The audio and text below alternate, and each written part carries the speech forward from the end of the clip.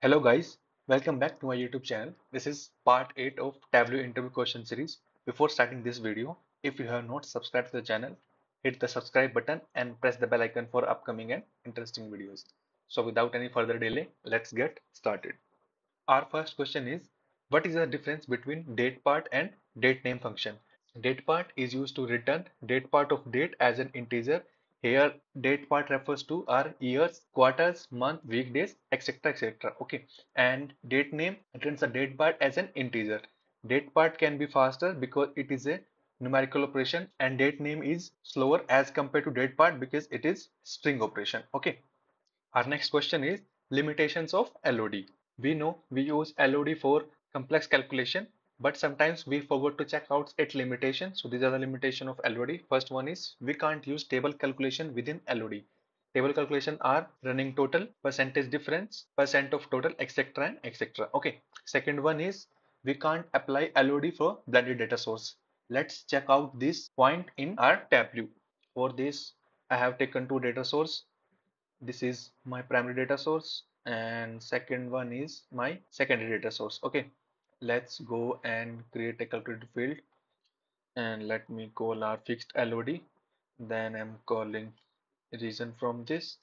And for our primary data source I will call sales. Okay. And now you can see we are still getting error. Like argument to sum is already aggregate and cannot be further aggregated. Okay. When we remove it you can see we are still getting all the fields in a level of details must come from the same data source. Okay. That's why we can't use LOD for blended data source. Third one is LOD expression gives unreliable views when floating values are involved. Okay. And fourth one is sometimes LOD slow down the performance as we know we use LOD for complex queries but by using LOD sometimes it will slow down the performance of a dashboard as well. Okay.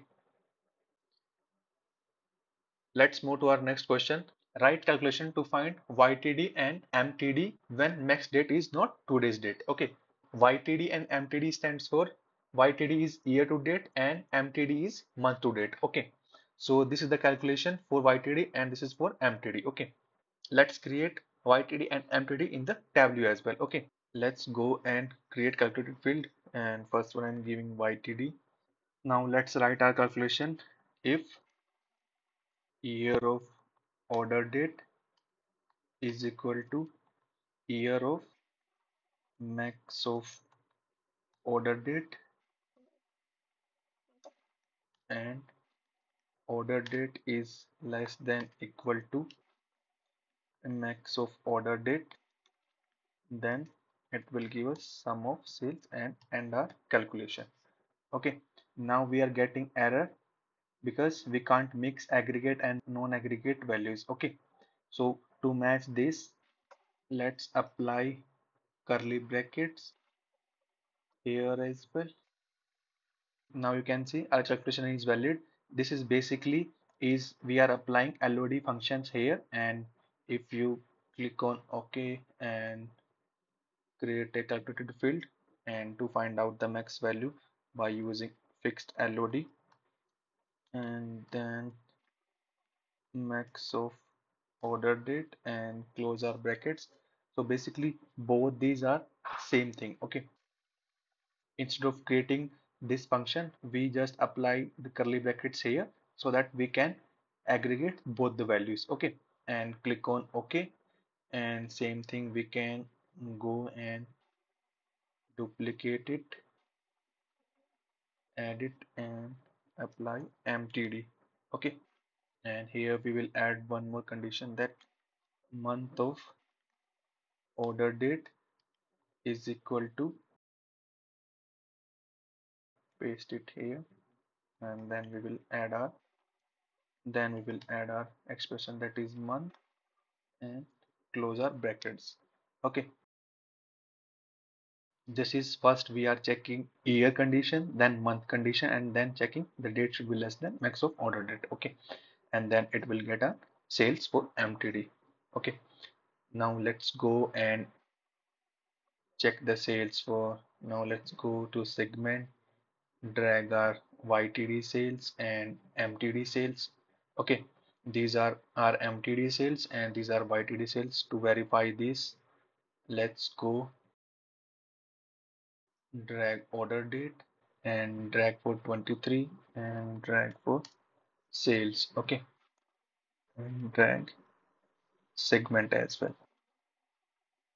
If you check, we are getting same values here as well. Okay, this is how you can verify if our calculation is correct or not. Okay, now let's verify MTD and drag our order date again and select the month that is December and click on OK. For the consumer segment, we have 50k and same thing here as well. Okay, this is how you can verify your calculation are valid or not.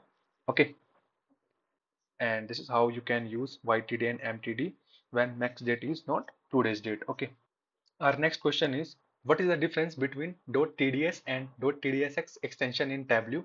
.tds stand for Tableau data source and .tdsx stand for Tableau packaged data source. .tds contains all the information you need to connect to the data source. It also contains calculated field, set, groups, bins, default properties like number format, aggregation and sort order.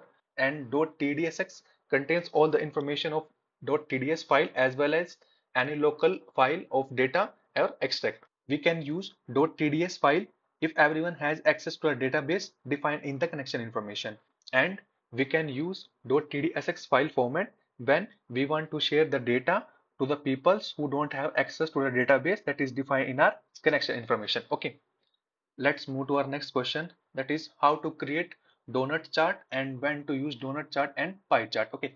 First let's go and create our donut chart we can use simple method. We can just create two dummy fields and change their chart to pie and go with dual axis okay?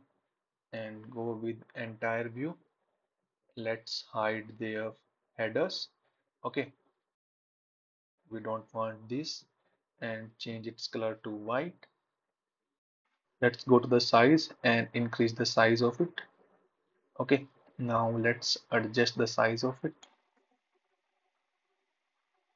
Okay and let's say I want to add segment into the color and sales